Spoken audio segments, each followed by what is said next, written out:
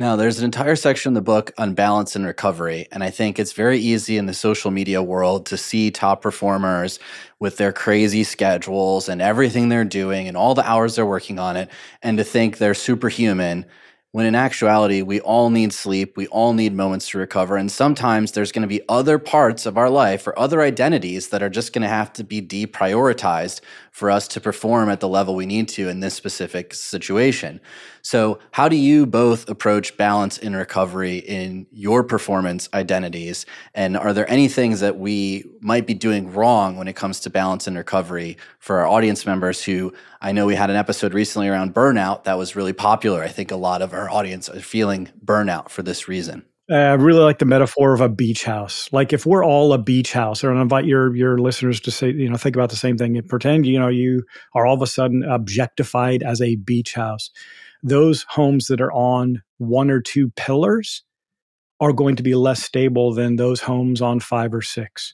When the waves of adversity, to stick with the metaphor, come, obviously it's going to wipe out a lot. When I as a performance psychologist, both now within a career in the military and a career in professional sport, and I'm not going to use names here, but I think we could each name five or six people in most disciplines that have become what they do. Literally, they are a really good insert the blank.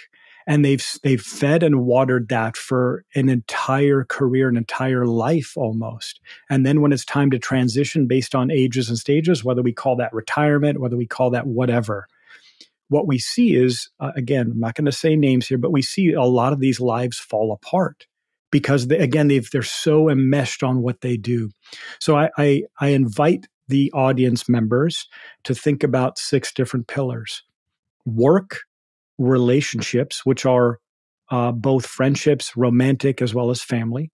The third pillar is health. Fourth pillar is hobbies. Fifth pillar is spirituality. Can be religion, but doesn't have to be. I mean, you can be spiritual and just be in awe of this universe and this planet. And then lastly, legacy. And I would invite, you know, the audience members to think about how they're spending time and emotional and physical and financial resources within each of those areas. The last thing I'll say is I'm a research geek. I'm going to geek out here a little bit. It used to be thought that the most balanced performers weren't the best at what they do. Not only false, patently false. When you look at the meta analyses and the, the, you consolidate a bunch of different studies, those performers who are more balanced are actually more likely to innovate.